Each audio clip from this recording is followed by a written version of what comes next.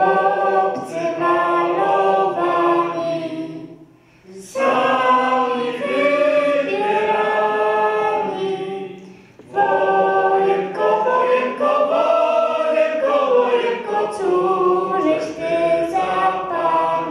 Koncert był zwieńczeniem projektu, jaki Chrzanowski Uniwersytet Trzeciego Wieku realizował dzięki wsparciu województwa. Ideą projektu To Twój Czas było wzbogacenie zajęć realizowanych w ramach uniwersytetu. I w ramach tego projektu e, finansowane były wykłady, które się odbywały w pierwszym semestrze, e, były finansowane warsztaty komputerowe, e, warsztaty językowe, czyli lektoraty, które prowadzimy, były prowadzone warsztaty fotograficzne dodatkowo.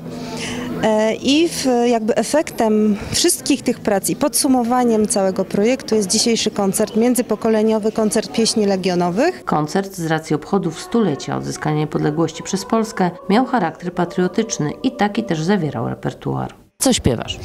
Y, Siekierę młotkę, wojenko, wojenko i rotę. Jest e, stres, są nerwy? Dla mnie nie ma stresu, bo ja już dużo śpiewam i ja się w ogóle nie stresuję. A ty co dzisiaj zaprezentujesz? Dziewczyna z granatem. Dziewczyno z bratem w ręce, dziewczyno w zielonej sukience.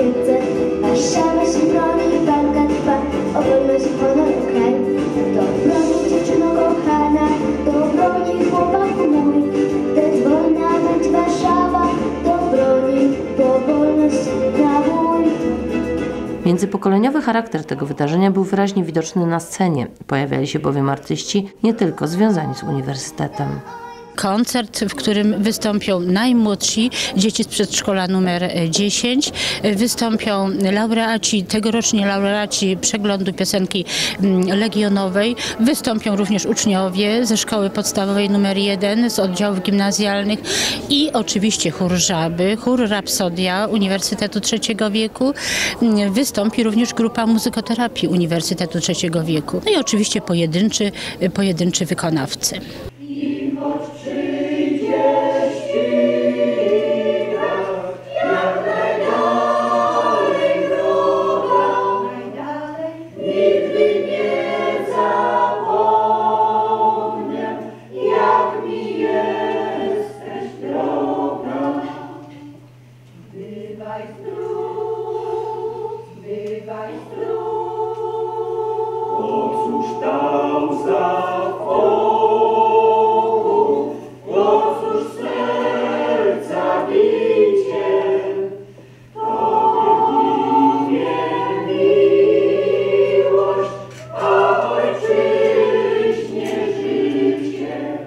Wydarzeniu, które odbyło się 9 listopada, towarzyszyła wystawa zdjęć wykonanych także w ramach tego projektu.